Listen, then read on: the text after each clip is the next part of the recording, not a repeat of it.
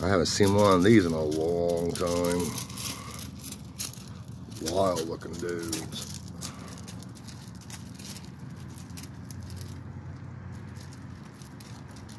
That's wild. Does his face not look like that little guy, all the squirrel or whatever on Ice Age?